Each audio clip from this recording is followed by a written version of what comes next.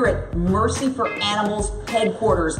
It is fantastic. You see all these fabulous animal lovers busy at work behind us. We're talking about Moby's sole perf- live performance of 2016. He's going to be doing some of his greatest hits, including stuff from his new album, which is dropping next week. Whoa. So you're gonna wanna be there for that. We also have uh, Ingrid Newkirk from PETA will be speaking, Gene Baur from Farm Sanctuary. We are gonna be covering everything, and the food is also spectacular. We have incredible vegan vendors. Wow. So get your tickets now because they are going to sell out very fast. CircleV.com. circlev.com and there's a variety of tickets you can get. You can That's get right. tickets just for the concert, Yep. or you can get tickets for the whole day. That's right. Or you can get tickets just for the events of the daytime. And um, I would do the whole day because it's going to be a life changing experience. And bring your non vegan friends to Yeah. expose them. Like, I have a few people that I'm going to bring, and I'm getting tickets for them so that they can have that light bulb go on. And in fact, I'm doing a panel with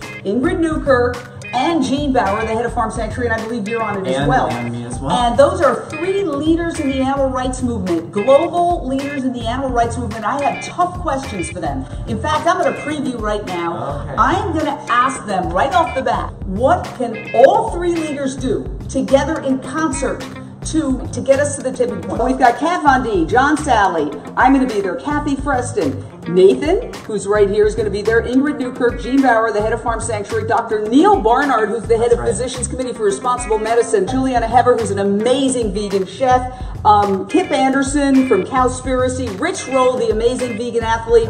The list goes on and on and on. So it's Circle V. Circle V for vegan for victory.